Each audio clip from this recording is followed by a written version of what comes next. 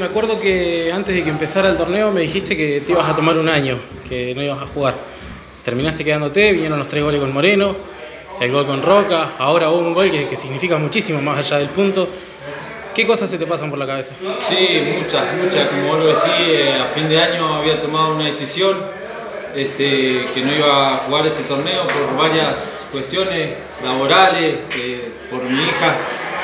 Y bueno, después eh, mis compañeros, muchos mensajes, me fui de vacaciones, muchos mensajes de mi compañero, el presidente se comunicó conmigo. Y después, bueno, se fueron acomodando un par de cosas y, empecé tarde la pretemporada. Todo se dio para que yo esté acá nuevamente.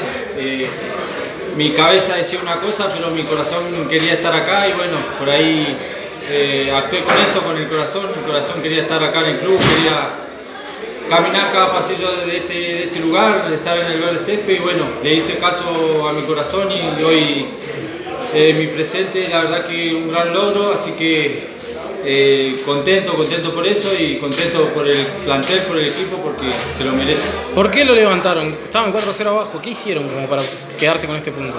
Y creer, siempre creímos desde que venimos acá en el entretiempo, creímos, creímos que podíamos eh, lograr algo. Eh, en principio eran dos goles abajo y bueno, después se complicó. Eh, estábamos cuatro goles abajo y por suerte vino el descuento muy rápido, el segundo también.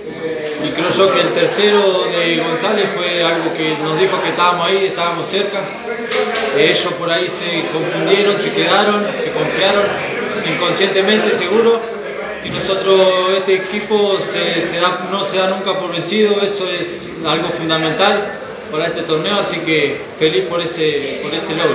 Bueno, contame tu gol porque de afuera la veía, escuchaba que la gente gritaba patea, patea, parecía que no se te acomodaba más la pelota. Sí, yo lo vi a Armoa que estaba a mi derecha, se la bajé a él y fui al área, pensé que le iba a pegar al arco y fui a buscar algún rebote, algo, por suerte me cayó ahí, me quedó entre las piernas y cuando la vi le pegué de puntín con la uña y, y entró, eso es lo más lindo. Bueno, y vino una mano de Bariloche porque Puerto Moreno le ganó a Roca eh, y eso les permite a ustedes quedarse con el segundo puesto de, de este grupo.